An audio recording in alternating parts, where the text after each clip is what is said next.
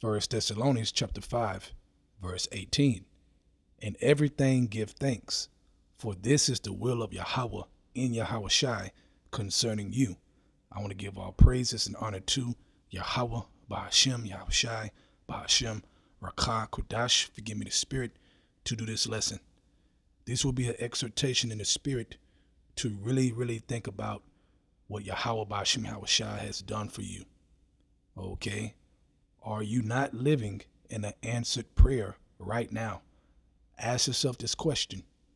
Are you not living in a answered prayer right now? Give Yahweh Bashim Shai the credit, the respect due for what they have done in your life. Okay? Don't just focus on the misfortunes and the tribulations, which is part of your growth in this truth. You have to understand that. We all do.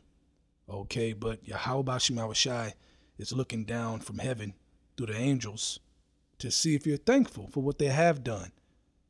All right, so when you pray and you ask for other things and you make your requests made known, okay, what you want, all right, think about that, man. Don't forget that he's already answered that prayer, this prayer. You're living in one right now. Okay, so be thankful for that first. Okay, be thankful for that first because Jake in the wilderness was not thankful. Okay, all the different things the Lord did for them, man. With salvation in general, man. Okay, coming through, man. Yahweh Shema Shai came through for Jake in Egypt. And look what they did, man. All right, they was looking for the next thing and ready to complain. All right, let's read it again. First Thessalonians chapter 5, verse 18. In everything give thanks. Do you hear that? Okay. In everything give thanks. You have to examine everything, man, to really be thankful and really understand what the Lord has done for you in His truth. All right, let's keep reading. For this is the will of Yahweh in Yahweh Shai concerning you. All right, so it's very important to think about this, man. Okay, and be sincere about it. Put down whatever is distracting you and focus on this. Okay, let's go to Proverbs chapter 3, verse 6. It says, In all thy ways acknowledge him. Okay, who is the him? Yahweh Bashim.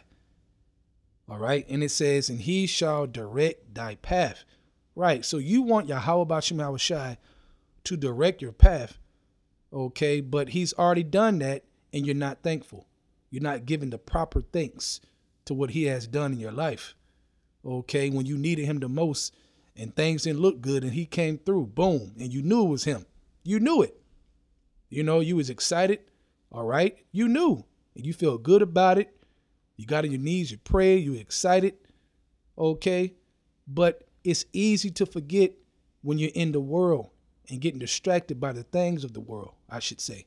It's easy to forget what he's already done you're already looking for the next thing no man won't you sit and meditate and be thankful for what he's already done for you, man. Okay, let's read it again. Proverbs 3, verse 6. In all thy ways acknowledge him, all your ways, man, and all your goings, and he shall direct thy path. Right. Okay. Keep your eyes single on Yahweh Bashim Shai, and he shall direct you with wisdom. Okay, that comes from the throne of Yahweh. Okay, that's pure power. That's spiritual power. Wisdom is spiritual power. Okay? When you have wisdom, you have spiritual power. That's the truth.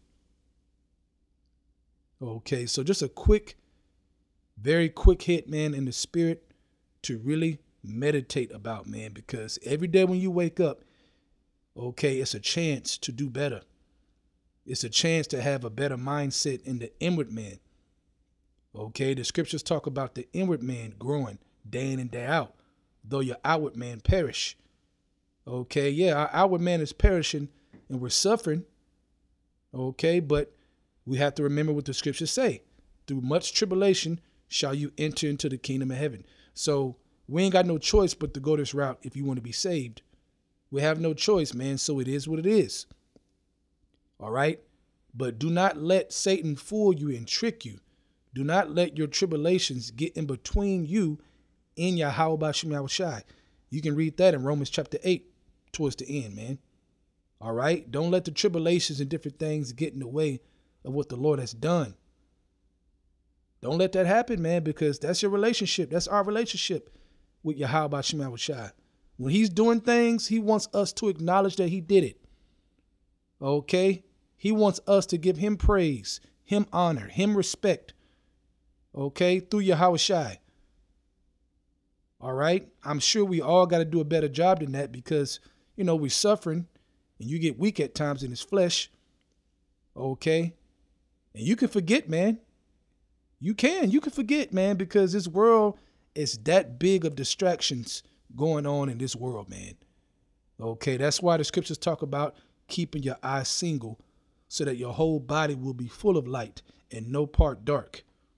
This world is full of darkness. So if you're getting too entertained by this world, man, you're going to get swept away by the darkness.